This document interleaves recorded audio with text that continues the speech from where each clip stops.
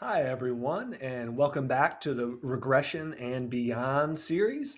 I'm really excited for this next set of videos because we're going to be focusing on some common real world data problems that you might run into. Often uh, you get training in statistics in these kind of hypothetical ideal situations. And then you go out into the real world and have to deal with real world data. And often that data doesn't look like the nice kind of perfect data that you've been practicing and learning on. So for this first uh, set of videos, I'm going to be focusing on assumption violations. And specifically, we're really focused on residual heteroscedasticity uh, we're mainly focused on that one because that's really kind of the big problem in terms of causing problems for us. Uh, specifically, you'll get bias standard errors. And when you have bias standard errors, that in turn means you're going to have biased p values, and you might potentially make an error either rejecting the null hypothesis or failing to reject the null hypothesis uh, inappropriately. So as before, as the, all the other videos, I have the script file and the data file that I'm going to be working through today linked below. and let's get right into it. So at the start, we're going to be doing what we've done in all of these labs. Again, I like to use the Rio package to do this, but there's lots of ways you can do it.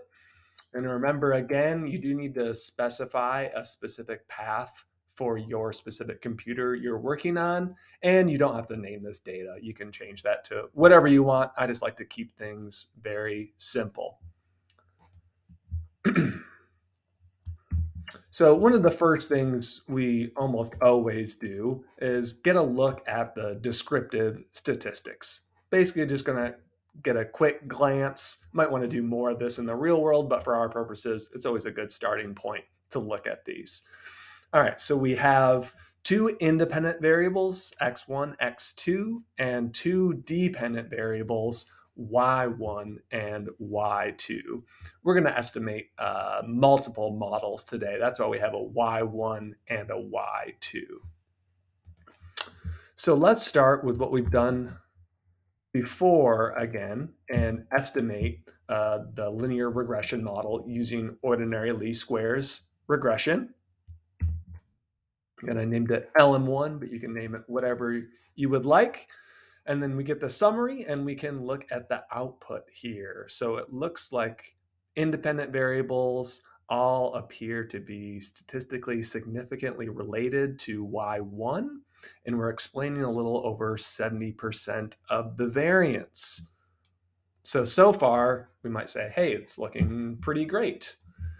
But let's have a look at assumptions first.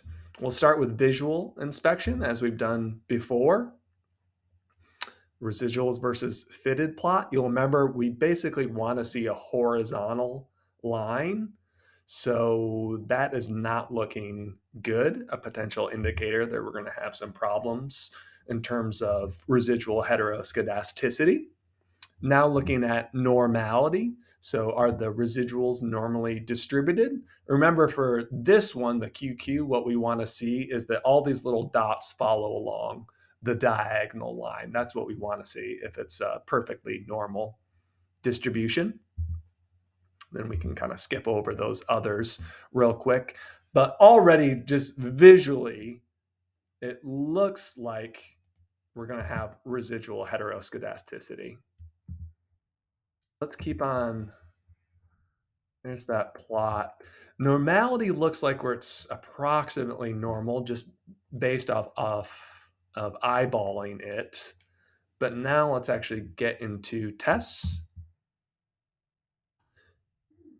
Uh, if you're just jumping into this video and haven't seen the previous videos, I do cover everything that I've done up to this point in the previous videos in this series.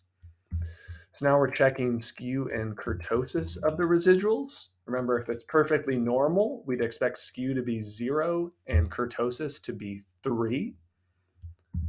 do that JB test to do a formal test of that. Again, the null hypothesis is that uh, skew is equal to zero and excess kurtosis is equal to zero. So we can retain or fail to reject the null hypothesis. Okay, so that uh, the normality of residuals assumption, that seems like a, a tenable assumption that we can hold. But now let's go check for heteroscedasticity.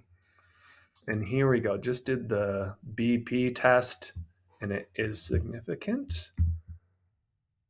I'll do the multiple versions of the white test. Again, I'm skipping over the full generic version of the white test. Again, you can look at previous videos if you would like uh, to know how to do that and want to do that.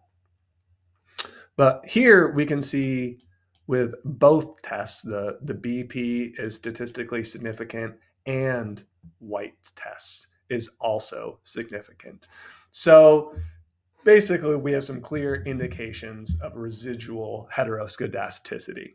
And as I mentioned at the beginning, this is a problem because uh, generally, again, maybe not depending on the circumstances, maybe it's slightly less of a problem, but usually or very often we're interested in doing a hypothesis test, right? And standard errors are going to factor into those tests. So if our standard errors are biased, we get incorrect tests and it causes all sorts of potential problems. Not always, but it can, right? You might be able to reach one conclusion if you did it this way. And then if you actually addressed it, maybe you'd reach a different uh, conclusion. So, as I mentioned, oh, I didn't mention this briefly, but we're focused on residual heteroscedasticity as well because the normality of residuals actually isn't a, huge major problem if that's violated, especially if have a good size sample. The, the bigger problem, or generally one of the main problems, is this heteroscedasticity issue. So that's why we're focused on that, but I'll be talking about normality as well. Notably, these are not the only assumptions for uh, a linear regression model, but we're just focused on some of the, again, some of the main ones. Something like independence uh, of observations, presumably you would know ahead of time, right? If you're looking at things like this, tracking people over time, that potentially you're going to have uh, an issue, you'd violate the independence assumption. And we'll be talking about some other uh, uh different approaches um, with that as we go on in different models. But here, just talking about linear regression. And what I'm going to show first is probably, I would say, probably the most common way of addressing this, which is to use um, a heteroscedastic corrected covariance matrix. Always tough to say, HCCM. Uh, they often, for short, go by the name of sandwich estimators. Uh, you might ask why we call them sandwich estimators. Basically, it just gets into the math of the equation. If you actually look up uh, like the equation and matrix and matrix algebra, basically what you get is two slices of bread and then meat in the middle. That's why it's called uh, a sandwich. You can look into that more if you're interested, but you might hear that word come around, sandwich estimator, and say, well, what are you actually talking about? They're talking about a heteroscedastic corrected covariance matrix of which there are actually multiple. So we'll go through them. So first, we need to install some new packages, JTools and the sandwich package, notably sandwich package we're going to use for sandwich uh, sandwich estimators for our standard errors. So go ahead and install those. I have them installed, so I'm not running that, but leave the lines in there so you have it.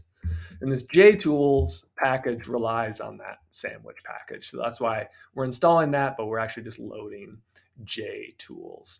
So the reason we're going to use that, it's a, it's a real nice way to get, uh, for example, a linear regression model, and we want to get broadly what we call these robust standard errors, right?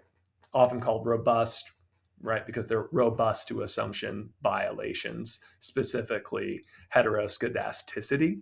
So that's why you'll often hear this term as well. People say robust standard errors. We use a sandwich estimator. Sometimes it can be a little confusing what people actually did. uh, but usually it refers to um, one of these. So we're going to use this package, which we can actually uh, request all the different versions of the HC, that matrix I was referring to. You'll see by default, if you just do the robust is true, we get the HC3, but you can specifically request different ones. Again, I'm just showing so that you could.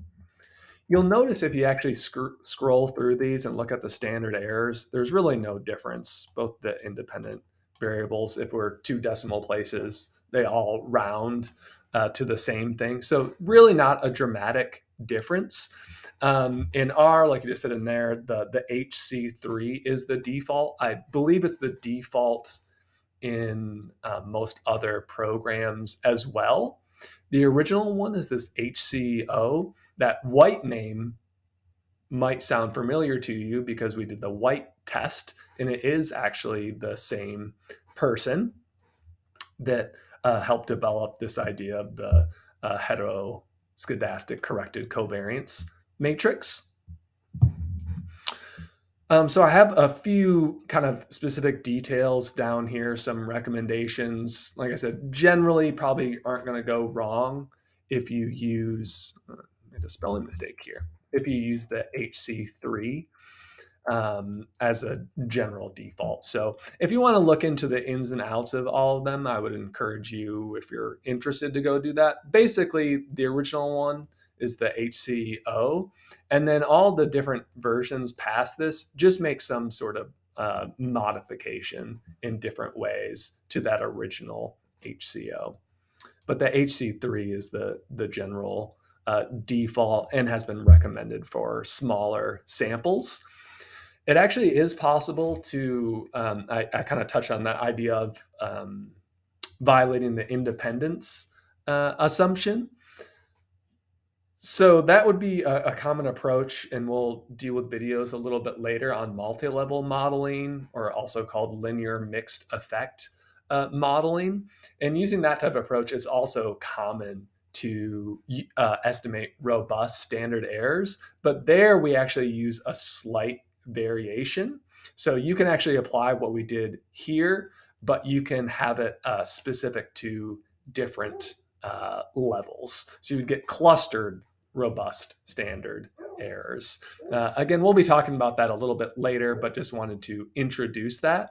It is relatively, uh, maybe not super common, but if you, um, you know, if the dependence, uh, for example, there was one study that I knew someone did, and they had repeated measures, but it was only two. So the same people responding to a measure uh, twice at different points in time technically that's going to violate the independence assumption but one approach that i've seen before is they'll use uh, linear regression and basically kind of ignore that clustering but then there is a way to actually get kind of robust or corrected standard errors in that case and we'll be talking about that more down the line.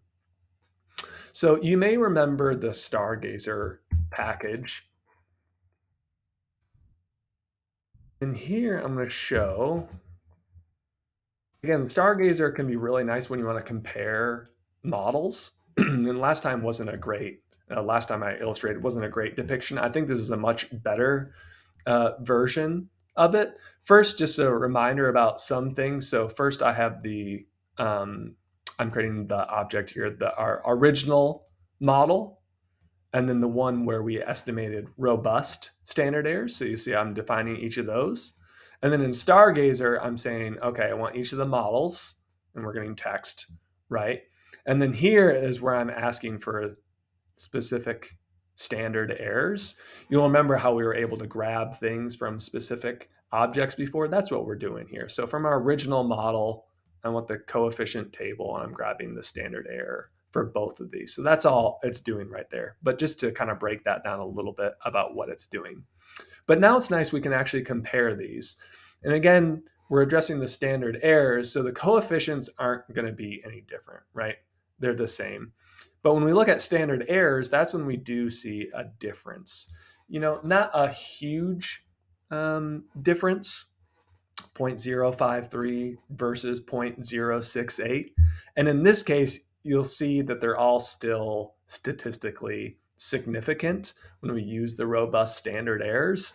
Um, so in this case, your conclusions would be the same, you know, whether you ignored or tried to address that residual heteroscedasticity. So to some extent, you could say, okay, so what's the big deal? It's not a problem. But that's not always going to be the case, especially in a situation if you have a really small sample and small effect sizes.